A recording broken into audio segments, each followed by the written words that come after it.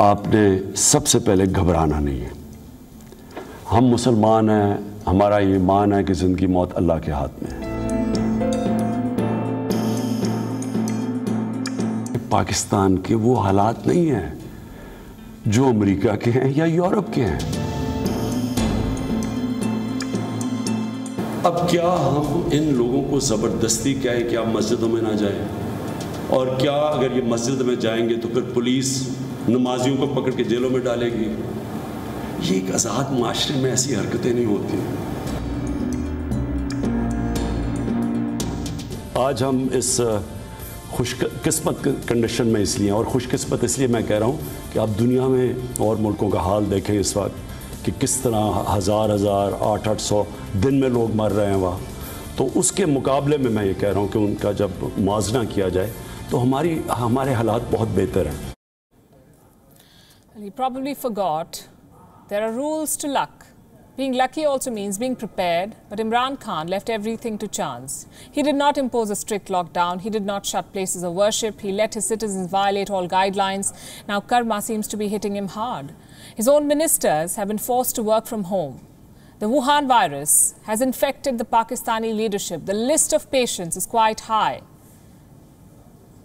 It's quite high profile and it only keeps growing. The latest leader to have caught the virus is the man responsible for fighting the disease. Dr. Zafar Mirza, the man responsible for Pakistan's pandemic response, he tested positive, made the announcement earlier today on Twitter. Dr. Mirza has mild symptoms. He has isolated himself and is said to be taking all precautions. We do hope he has enough masks. Because not very long ago, this very man, the minister, was facing a criminal investigation for smuggling 20 million masks. He was acquitted. Now he is infected.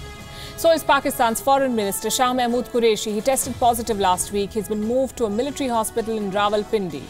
He's carrying out his duties from there. Then we have the Federal Minister for Information and Telecommunications, a certain Syed Aminul Haq. He tested positive two weeks back. Next on the list, Sheikh Rashid Ahmad, the Federal Minister for Railways in Pakistan. He tested positive on the 8th of June and spent most of the month at a military hospital, again the same one in Rawalpindi. Then we have Imran Ismail, a PTI leader and the governor of the Sindh province, tested positive two weeks back. Yet Imran Khan did not take the pandemic seriously. Last month, he served, he was served another reminder. The former Prime Minister of Pakistan caught the virus. I'm sure most of you remember Shahid Khaqan Abbasi. He tested positive in June and had to quarantine himself at home. And Mr. Abbasi joins a long list of Pakistani leaders who've tested positive for the Wuhan virus. I can give you more names. Sharjeel Memon, a People's Party leader. Chaudhry Ali Akhtar, a PTI provincial lawmaker. Asad Qaiser, the Speaker of the National Assembly, Shehbaz Sharif, leader of the opposition in the Pakistan National Assembly, Saeed Ghani, a People's Party leader, Syed Fazl, the former governor of Balochistan, Shaheen Raza, a PTI lawmaker in the Punjab province, Ghulam Murtaza Baloch, a minister for human settlements in the Sindh province. These are just names of Pakistani leaders who caught the virus in the last few months. The list is longer, but the expectations from Pakistan not very many. And here's a bit of unsolicited advice to the Prime Minister take this pandemic seriously because luck runs out.